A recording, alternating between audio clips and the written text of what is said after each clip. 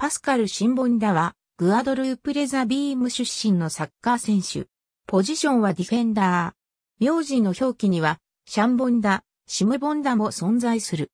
2006 FIFA ワールドカップに向けてのフランス代表発表において最も驚きを与えた選手。ウ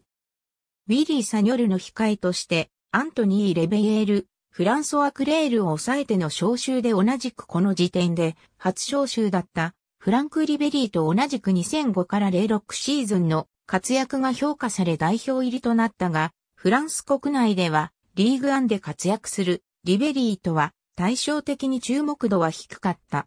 しかし招集後は27歳でレ、ブルーの仲間入りを果たした遅咲きのヒーローとして注目の的となった。ルアーブル AC 出身で、その後 SC、バスティアに移籍した。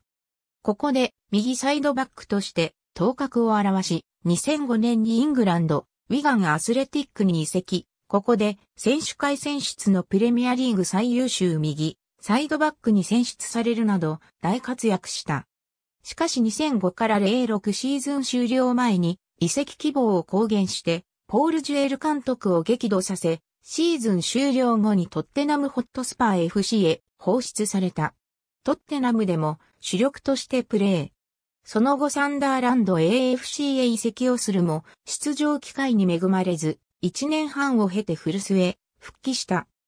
2014年10月にリーグ2の AC アルルアビニョンに加入し、約10年ぶりにフランスへ舞い戻ったが、翌年2月27日にクラブとの双方合意に基づき契約を解除した。バスティア時代 AS サンテティエンヌ戦で試合中に相手サポーターから激しい人種差別を受けたことがある。